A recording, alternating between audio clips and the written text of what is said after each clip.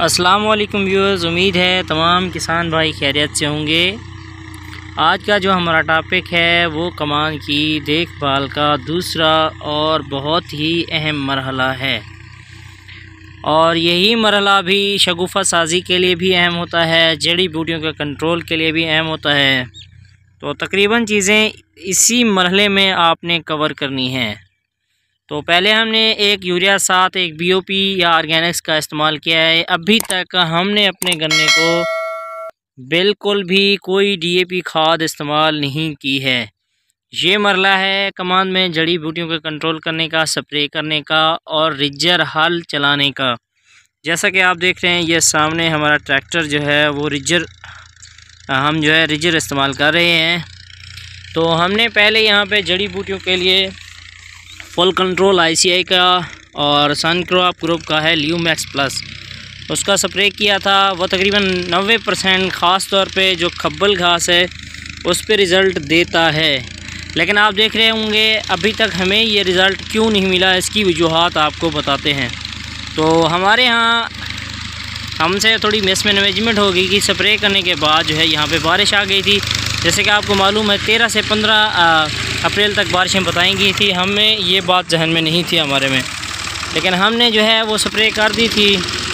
तो आपको पता है, जब भी आप जड़ी बूटियों का स्प्रे करें, स्प्रे करने के बाद अगर बारिश या पानी लगाते हैं तो फिर जो है आपका रिज़ल्ट मुतासर होता है। तो देख रहे हैं आप, कल परसों बारिश हुई है। बारिश होने की वजह से हमें रिज़ल्ट नहीं मिला। हमारा रिज़ल्ट रुक चुका है। जो जड़ी बूटियों का कद है, वो रोक चुका है। लेकिन आगे हम सोच रहे थे कि शायद हमें वो रिज़ल्ट ना मिले।